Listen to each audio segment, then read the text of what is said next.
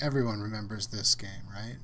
Minesweeper is an old computer game where a player makes guesses on a board to reveal information about neighboring tiles and then use that information to narrow down the search for targets, mines.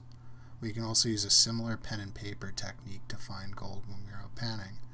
Logs and tables are kind of boring, so let's draw a picture instead and use that to find more gold. So what I'm going to show here is a very helpful and easy to make visual representation that will assist in making you some more money when you're out high banking or mining. You don't need to be a geologist or an artist to do this. All you need is a pen, paper, and a gold pan with a shovel. A classifier is pretty helpful too. All we're going to do is go out, take test pans of gold, get a rough count, and take some notes, and then move on. Flour gold deposits are pretty finicky. The grades can increase or drop off in the space of a few inches in any direction.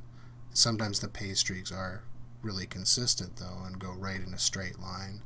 Other times they follow the flow of the river and concentrate in low pressure zones. Doing a lot of test pans is important and doing a test every 6 feet or about 2 meters or so will save you a lot of heartache over time. It's true you can run a lot more material with a high banker by skipping exploration, but it takes a lot of time and effort to set up, and I wouldn't do this unless you already have outlined a zone by test panning. It's far easier to map and test pan first, rather than start slaving away and end up exhausted and working for a buck an hour only to discover you missed some really good gold nearby and wasted all your time and energy. So, test thoroughly before you start mining. Before we start, here's a few things to keep in mind. Panning gives an indication of what's on the surface and within a very small area around the panned zone. This creates a mostly two-dimensional drawing of the deposit at surface. Mineral deposits are 3D items, so you'll rarely know what a deposit actually looks like just by panning the top. As you produce and then do more test pans or drilling or sampling in the workings as you go down, then you can establish the shape, grade, and size of a deposit. It doesn't matter whether it's big or small, the exploration principles are the same. Another thing to consider is estimation. The best way to estimate gold in a pan is to learn to count the dollar value, or estimate the percentage of a gram and convert that into cubic yards, meters, or tons. But these are difficult things to teach right off the, right out of the gate and come with experience, so the easiest way to do this for a novice is to simply do a speck count and then make some minor notes of any anomalies. I care mainly about whether an area is economic to high bank or set up a wash plant, not specific counts of gold down to the cent. My rule of thumb for flour gold is anything above, say, 250 dots is some pretty nice material. If you can pan it all to the lip of the gold pan and it looks like a decent slice of a gram, then that's also an excellent indicator that the area is economic to shovel or process with a larger wash plant. So that's a long way of saying that there's a huge difference between 10 big chunky pieces of gold in a pan and 300 tiny little microscopic dots of flour gold, even if the gold quantity is identical you may want to classify material or run it with more or less water flow or angle for optimal recovery based on the type of specific material that you're in. This information will help you operate more like a real mining company. They usually sort ore and have different processes for different ore types and grades. And they know from previous drilling experience what grades they're bringing from each area and what rock types they are. So you can do the same thing and it will improve your recovery. So for example, if you discover an area with flour gold and clay, you can work that area with an appropriate setup using more water and more effort to wash and crush the clay in the hopper, while perhaps using less slope or flow for the fine gold recovery than you would for standard gravel. Alright, so we're going to play a game here quick. Okay. So this is saying that there's one mine nearby. Three is showing uh, that there's this is touching three mines. This is touching one mine. So you know there's one here. This is only touching one mine, so we know that this is not a mine. This is touching three. One, two, three.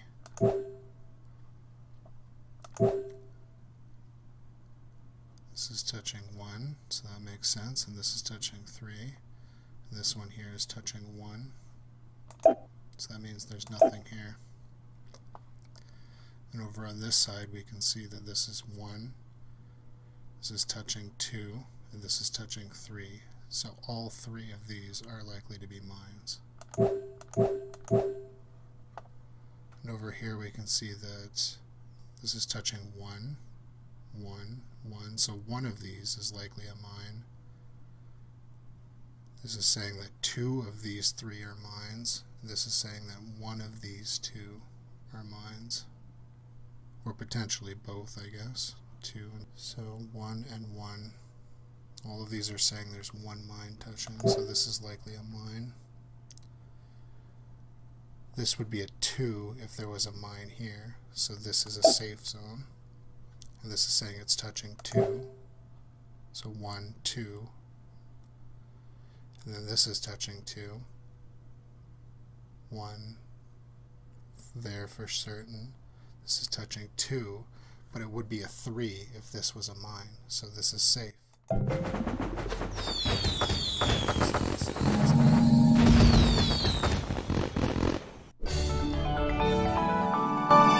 hope you can see just why this resembles a little bit of an exploration thing. You're using the data you discover, even if it's a zero, to discover where the objective is.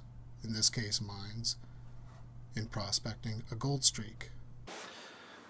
Alright, so I'm going to redraw some of these new forma or real formations.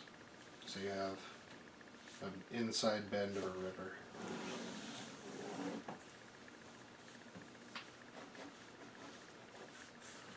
This is a river and it's flowing this way. Alright, so say pan here. Zero specks of gold. It's still information. And then you pan up here, you get 10. Okay. What's going on here? Is it getting more gold down here? Maybe. 20. Okay, and then you pan here, you get 50. Interesting. And then you pan here, you get 100. Things are looking good. You pan here, you get 50. Uh oh. You pan here, you get 20. And you pan here, you get 50.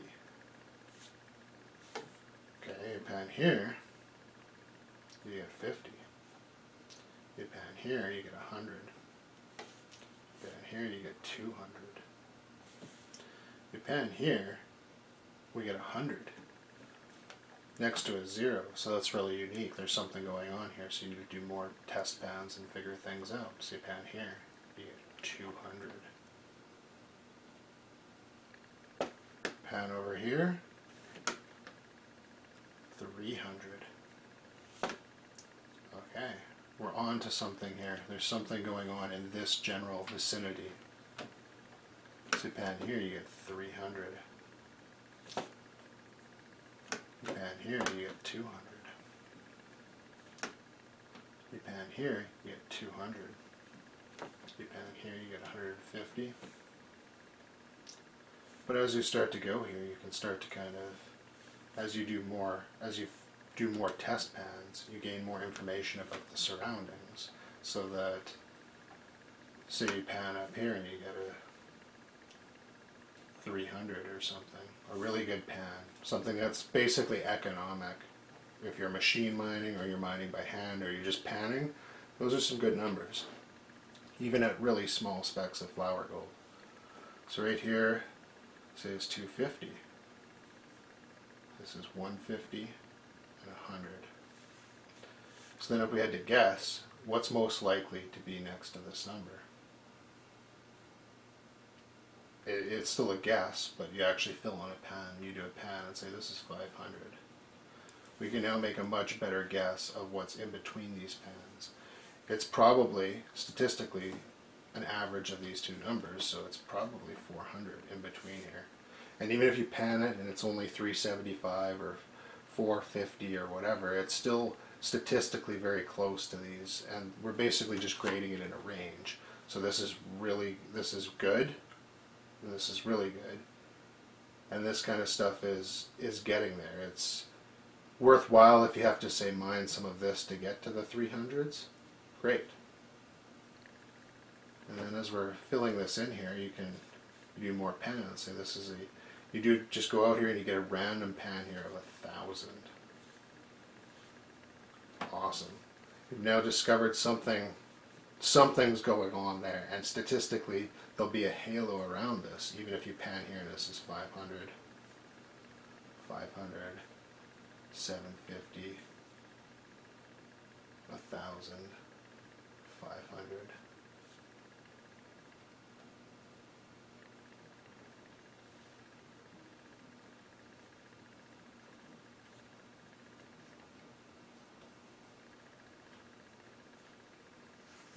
And so you can see how it's, it kind of becomes like Minesweeper as you can kind of guess what in, is in between these cells. And as you fill in more information, like say this is a, a 50 here, you know that this is going to drop off dramatically and whatever halo of this zone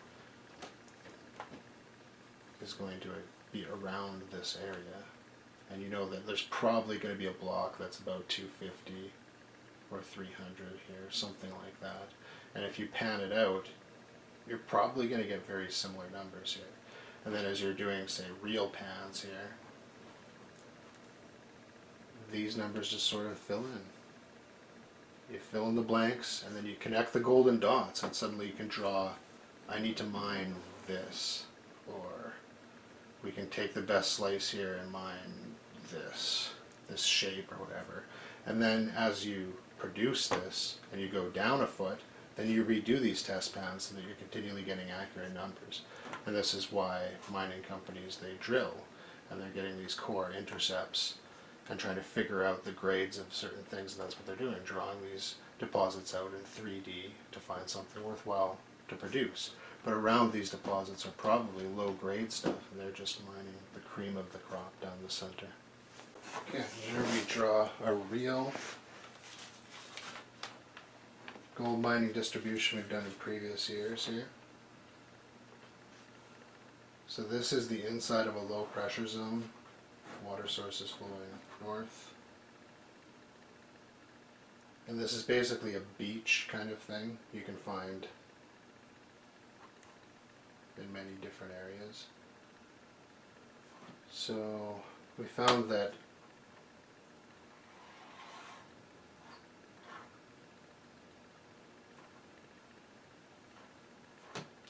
started off here, we got about 200 specks.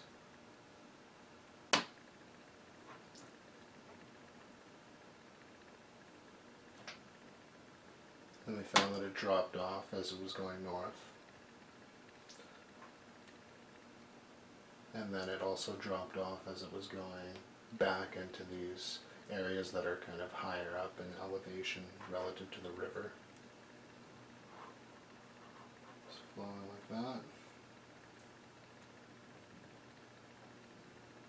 So we found this nice little ridge area here where we did another couple pans. It was consistent of 200, 175, 150.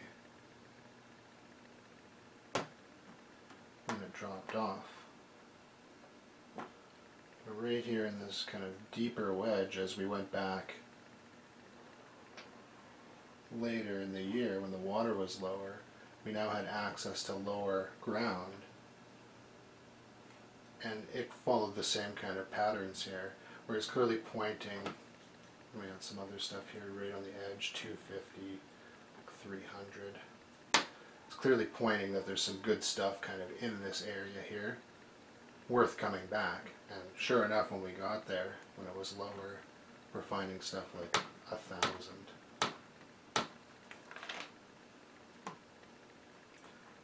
2K, 1K, 1.5K, 500, 500,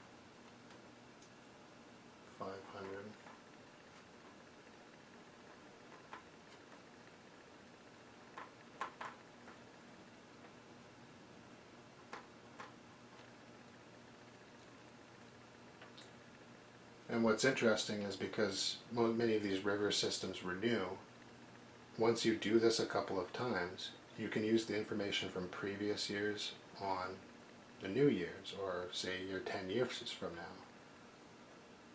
These distributions are not all the same. It does change year by year, especially if there's big flood events or something.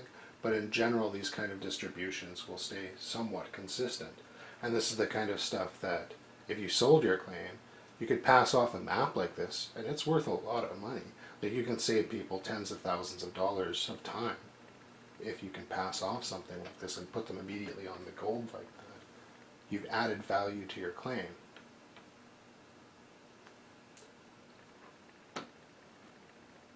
Okay, and then so as we filled this out, it becomes a lot easier to guess again. Like I never panned here, but you can probably say there's say about 150 specks of gold or something like that.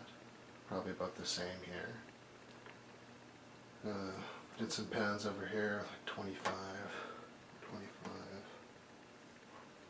25, 10, 25.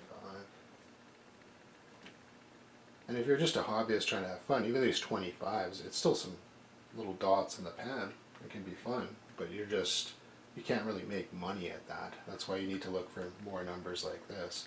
And if you get to the point where there's so many dots in the pan that you can't even count them, that's a good sign too. That's like these. This is the kind of stuff where you can make an ounce in a day if you run a few yards of material. These are very high gram per ton numbers that are economic pretty much anywhere, especially if they're at the surface like that.